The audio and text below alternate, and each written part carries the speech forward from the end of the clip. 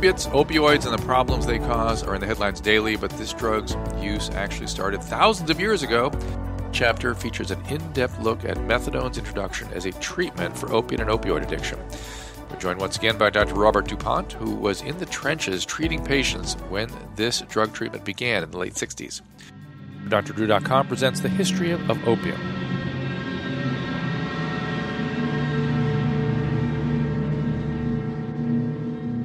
10. Methadone, a cautionary tale. Well, now that we've walked through a little bit of the nature of addiction, a little primer on the biology and genetics, let's talk about methadone. The post World War II era saw an increase in addiction, opioid addiction primarily. This gave rise to crime in urban areas and, in turn, overcrowding in jails. With no effective treatments or detox methods available, the Joint Committee of the American Bar Association and the American Medical Association issued a report in 1958 they recommended an outpatient facility prescribing opiates to treat addiction. They suggest this be established on a controlled and experimental basis. German scientists, as I've described, first produced methadone in the 1930s, became available in the United States in 1947, but its use as a treatment for opioid abuse took off in 1964 when Dr. Nyswander and her husband, Dr. Dole, presented data for two patients that were responding well to high dose methadone maintenance therapy. They claimed that their patients felt relief from cravings, no longer experienced euphoria. They were also free of side effects and avoided development of any sort of tolerance to the drug. This couple then suggested that high dose methadone maintenance be a most realistic goal for many of their addicted patients and a preferable alternative to death, as well as an alternative to the problematic behaviors associated with shorter acting opiate addiction. They advanced the idea that methadone maintenance was an acceptable alternative to abstinence and worked to promote to use harm reduction style of treatment. Let me define what harm reduction is for uh, our listeners because it's not obvious what it is. Basically, it's a series of interventions that seek to reduce some of the harmful, negative, even life threatening effects of drug use without stopping the drug use. So, an example of that would be a needle exchange, for example, or a safe injection site, or for that matter, Narcan revival of, of an overdose victim. There are a whole series of interventions that fall into this category, and, and they all are well meaning. They are targeted at keeping people alive. And also, the harm, a lot of the harm reduction strategies cater to the using addicts. And so the harm reduction strategists support them because they say it's meeting the addicts where they're at. And that's true. The sort of best thing I can say about harm reduction, the, all of these ideas do a pretty good job of getting people into some kind of contact with health counseling kind of activities. But the problem is uh, that the people don't move on to becoming drug free. The term of art is it enables the person to continue using the drugs by reducing some of the risks associated with the drugs. And that's a problem. So my, my approach to it, to harm reduction, is I'm not against harm reduction, but I want to have harm reduction evaluated on its ability to get people into lasting recovery, not to keep them alive for another day. I mean, that's a good thing to keep them alive another day, but it ought to be looked at in terms of where does it go then? What happens then uh, after the needle exchanges? How many of those people get into uh, lasting recovery? And, and when they do, what do they think about their needle exchange experiences? Uh, I, I think that that the game changes once you get the idea that recovery is possible, and I don't believe there's any hopeless addicts. So if somebody says, well, that person can't be helped. No, I don't think that's right. Uh, I think every addict can be helped. And I think the goal for every single addict is recovery, which includes not using. Uh, there, there are many steps to that and many roads to that. I understand. But we have to be clear that there are no hopeless addicts and the goal is recovery. And once we have that, then we can think about uh, harm reduction as part of it. But right now, uh, people just think about it as harm reduction is the answer to the problem. And, and, and that's clearly wrong. The concept at the center of the debate over methadone maintenance therapy is whether harm reduction is or is not an acceptable approach to treating opioid addicts. Though no definitive definition exists, Dr. Bernadette Pauly, an associate professor of the University of Victoria School of Nursing in Canada, characterizes harm reduction, quote, as a philosophy that shifts the moral context in healthcare away from the primary goals of fixing individuals towards one of reducing harm, unquote. To that end, addiction professionals who offer this type of treatment may be more concerned with decreasing the harms, overdose, crime, medical and psychiatric problems, just name a few. The advocates of the treatment insist it helps reduce stigma as well associated with illicit and intravenous drug use. The professionals who worked towards abstinence were mortified that physicians were once again making the mistake they had repeated in the historical past, treating one addictive substance with another. To the harm reductionist point, an article published in the Journal of American Medical Association in 2008 reports that methadone treatment and comprehensive rehab programs have been associated with marked improvements in patients' ability to function better overall. Experts tout methadone's legality and long half life as a good alternative to illicit parenterally administered heroin. Methadone's use is regulated and it's intended to minimize the potential for abuse. Expert on the other side of the debate, including Dr. Robert DuPont, a former drug chief under Presidents Nixon and Ford, argued against methadone. DuPont, an early proponent of methadone, said in an interview for PBS Frontline, quote, I think the simplest way to say it is that it's an addicting drug. How can you treat addiction with an addicting drug? At the end of the day, you're not going to make that sale. It's not going to happen. DuPont now believes that harm reduction approach sends the wrong message.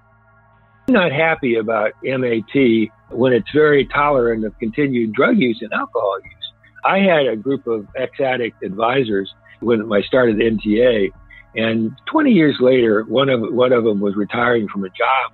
He'd actually worked at NIDA at the time, and I asked him about the other guys who were uh, in there. They were all recovering heroin heroin addicts, the whole advisory group. So I asked him about it, one after the other, he said they were all dead. And I said, well, did they go back on heroin? No, they died of alcoholism. They died of alcoholism. Uh, and I said, this guy's name was Nap Turner, wonderful man. And I said, Nap, why are you alive and they're dead? And he said, it's really simple, Bob. I went to meetings and was part of AA, and they didn't go to meetings and weren't part of AA. Now, that's a game changer for me. That changed my thinking in a very profound way. When methadone is treating a heroin addict, it's important to deal with his drinking. It's important to deal with his use of other drugs.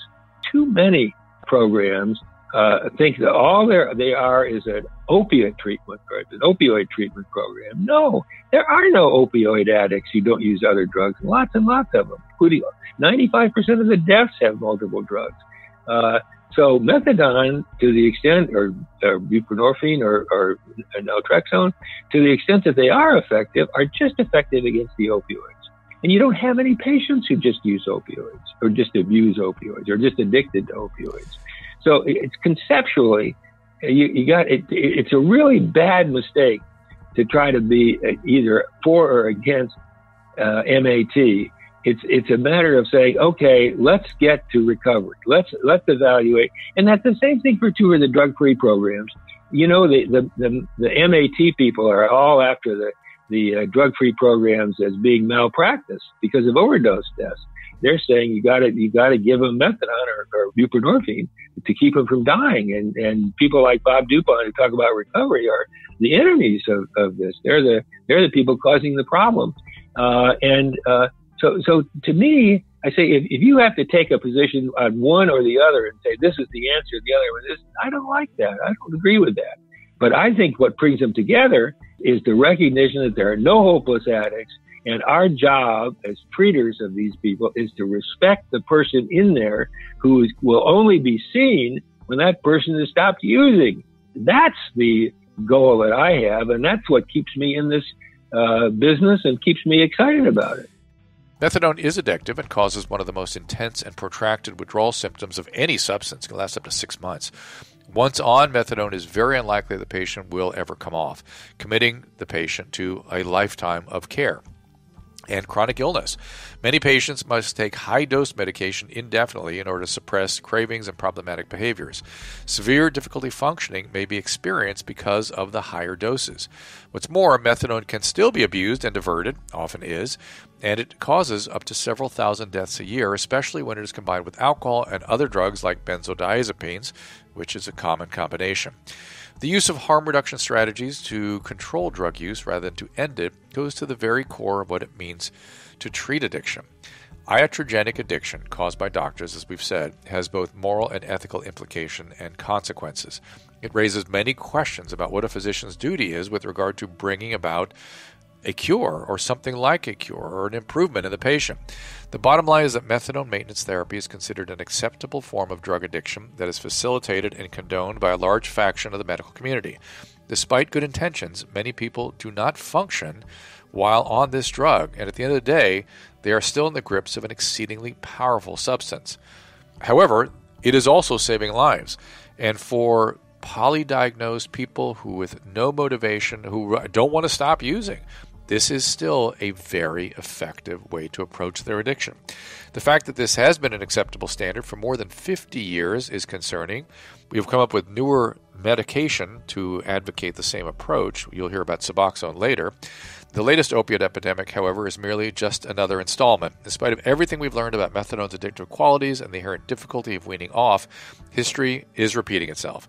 Except for harm avoidance strategies, a new medication, as I said, called Suboxone, is being advocated. Like methadone, it has clinical utility, but the excessive enthusiasm mirrors the mistakes the medical system has made over and again when addressing opiate addiction. The current incarnation of harm avoidance involves large supplies of Suboxone being provided at each visit with a provider. This is a marked contradiction to the methadone model, in which a provider is seen on a daily basis. Those working with addicts are seeing younger abusers who are diverting the drug and using it in unintended ways at a really alarming rate. Presently, there's a huge black market for Suboxone. Suboxone is uh, kind of methadone light in a way. It's uh, it doesn't require the same program. It's not there's not a program. There are some uh, users of Suboxone who have, make it as part of a program, and some of them do a wonderful job. Uh, uh, right here in Washington, uh, George Kolodner has a program, an outpatient pro- outpatient treatment program called Kolmac, and they've integrated Suboxone in for their opiate addicts. That's great. Hazelden is a the, the sort of premier drug-free program is using Suboxone uh, as well as naltrexone. Uh, so I'm I'm all for that.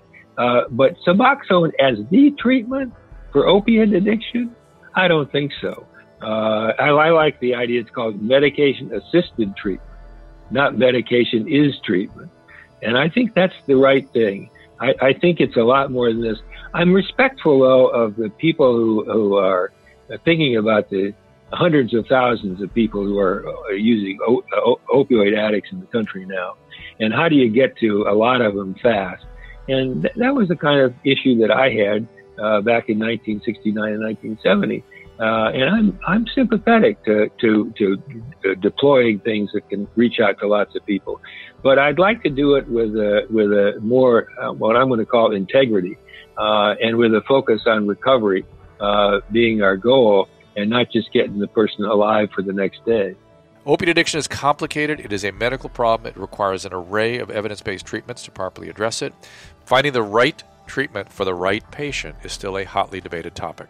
Dr. DuPont is still active in the area of addiction recovery. He founded the Institute for Behavioral Health, which is a nonprofit organization dedicated to developing strategies that reduce illegal drug use. Check it out at IBH Inc., ibhinc.org. I want to thank our staff at Doctor.com, particularly Michelle Poe, for pulling this opium series together. And also read our entire opioid series as well as get our weekly medical articles at Doctor.com. Be sure to join our email list by going to Doctor.com slash contact and tell a friend. We appreciate it. Well, CBDs are everywhere, right? Everyone's talking about them, and it's a topic that I get asked about all the time. Bottom line on CBD, although there are way more claims made about them, the clinical evidence right now, mm, it's not all that clear, but many people are using it and reporting great results, and they are very encouraging. So I want to first define exactly what I'm talking about here. CBD is cannabidiol, an extract from hemp. While you might associate with marijuana, CBD does not cause reinforcement. It is not the reinforcing component of hemp, but it is what's responsible for the calming or some of the relaxing effects that many people experience, not the high. Now, about the products. There are a ton of them on the market today. For getting the vast array of the reported health benefits, it's important to be aware of what you're buying. I was recently introduced to a company called Select CBD, an Oregon based company that focuses on high quality ingredients and manufacturing standards, not the hype. Their CBD based products are available in a wide range of formulations and flavors, each of which is described to you so you can make an informed decision without all those promises that are probably too good to be true. Like I said, the reported benefits of CBD by individuals using this are very compelling. I'm excited to see how things develop as the science catches up with this booming industry. As usual, the public is ahead of the science. I can't make explicit claims yet, but boy, the reports are pretty encouraging. So if you're ready to try CBD, I encourage you to check out Select CBD. To learn more, go to drdrew.com slash select. That's on my site, drdrew.com slash S-E-L-E-C-T. And for a limited time, you can save 25% at checkout with the code Dr. Drew, D-R-D-R-E-W. Again, drdrew.com slash select, and then the code D-R-D-R-E-W.